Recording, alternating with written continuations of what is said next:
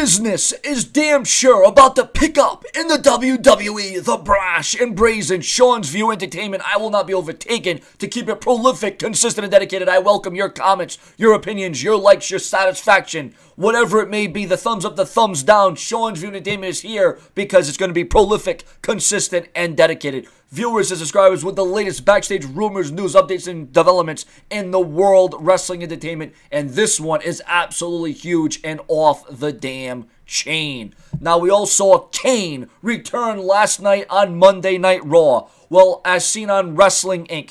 First of all, let's get to the top story, though. Well, there's a lot of top stories, but it's hard to say which one's the first one. Bray Wyatt was not at Raw this week. He was not at Raw last week. There is a lot of conflicting rumors and speculation about Bray Wyatt's status and future in the WWE, saying that he may be finished and he may be done with World Wrestling Entertainment.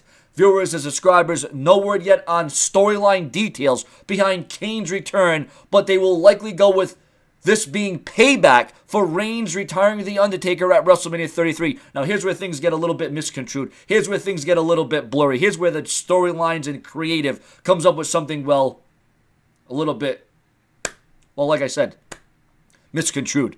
There's already speculation on Kane's return, setting up a potential Survivor Series return for The Undertaker, the dead man, possibly teaming with The Shield to go on the opposing team of Kane and whoever will be on Kane's side, which will be a bunch of heels.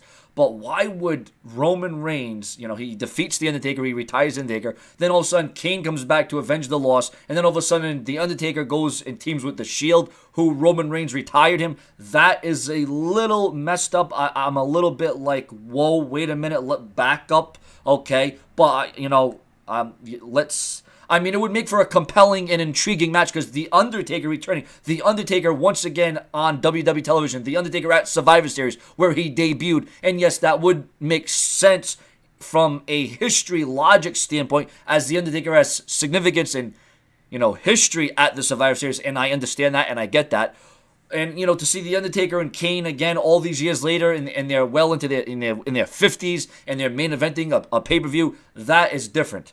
Um, but ladies and gentlemen, um, as I'm trying to wrap my hand around Kane returning and the Undertaker and Kane being on opposite teams, and then the Undertaker teaming with the Shield, um, you know, trying to understand this, and then Bray Wyatt's future and uh, his longevity in the WWE. And can you really blame him? Because I mean, creative has really ruined Bray Wyatt. Creative has really destroyed Bray Wyatt's image.